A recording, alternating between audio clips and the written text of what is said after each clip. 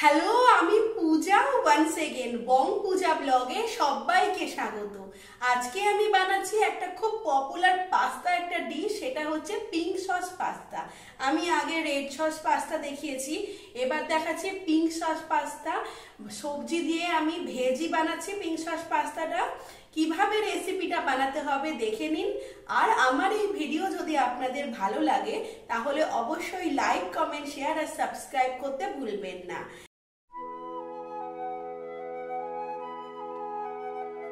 আমি এখানে pink sauce pasta বানানোর জন্য যে উপকরণগুলো নিয়ে নিয়েছি, সেগুলো হলো পাস্তা টুকরো করে কেটে রাখা গাজর, পেঁয়াজ ক্যাপসিকাম মাশরুম সুইট কর্ন দুধ, ময়দা ক্রাশ করা রসুন, মটরশুঁটি, কাঁচা লঙ্কা কুচি, গোলমরিচ গুঁড়ো, লবণ চিনি, ডিম, cheese cube, pasta sauce, mix herbs আর চিলি ফ্লেক। আমি এখানে একটা সসপ্যানে জল গরমে বসিয়ে দিয়েছি। জলটা ফুটতে শুরু করে দিয়েছে। এবার আমি এর মধ্যে অল্প করে লবণ অ্যাড করছি। আর দিচ্ছি, এখানে আমি যে পাস্তাটা নিয়েছি, এই পাস্তাটা দিয়ে দিচ্ছি। আর দিচ্ছি এই সুইট কর্নটা একটু নাড়াচাড়া করে দেব, দিয়ে এটা একটু সেদ্ধ করব। এবার আমি এইদিকে একটা ফ্রাইং প্যান বসিয়ে দিয়েছি। এর মধ্যে এবার আমি দিয়ে দিচ্ছি সাদা তেল। খুব বেশি তেল দেব না, অল্প করেই দিলাম। এবার এর মধ্যে আমি দিয়ে দিচ্ছি। এখানে যে রসুনটা ক্রাশ করে রেখেছিলাম, রসুনটা দিলাম। একটু নাড়াচাড়া করে নেব।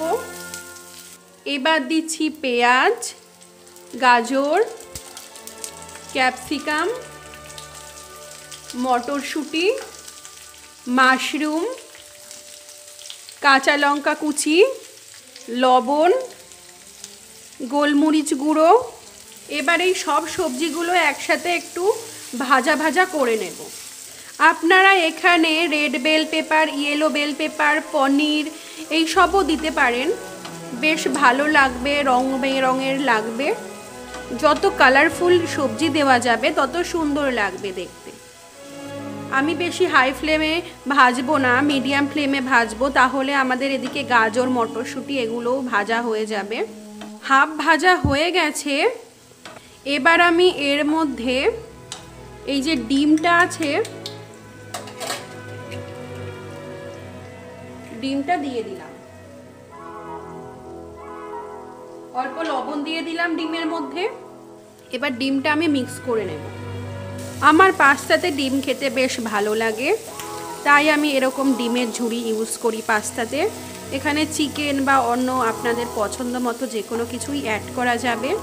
আমি আমার ঘরে যে সবজিগুলো ছিল সেগুলো দিয়েই করছি পাস্তা।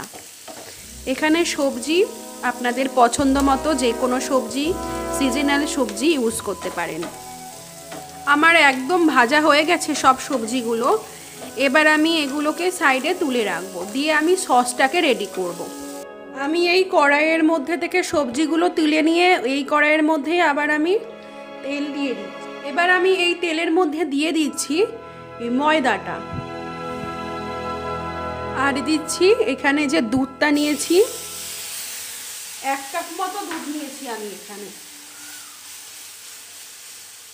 দুধটা দেওয়ার পরে একটুখানি ফুটিয়ে ঘন করে নিয়েছি সস টাইপের। এবার আমি এর মধ্যে দিয়ে দেব লবণ, চিনি, গোলমরিচ গুঁড়ো পাস্তা সস।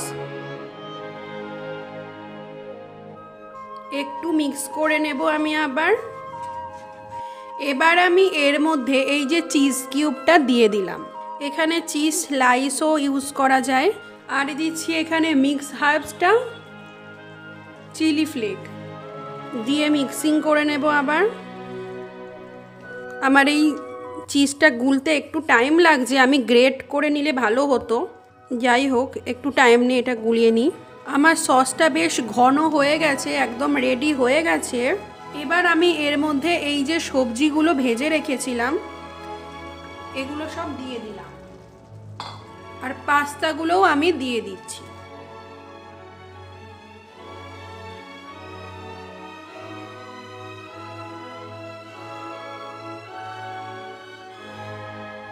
পাস্তা সুইট কর্নটা একবারে দিয়ে দিলাম। এবার আমি সসটার সাথে মিক্স করে নেব সব কিছু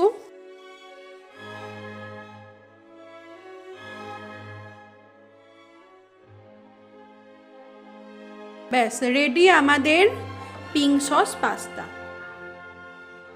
আমাদের pink sauce pasta ready and served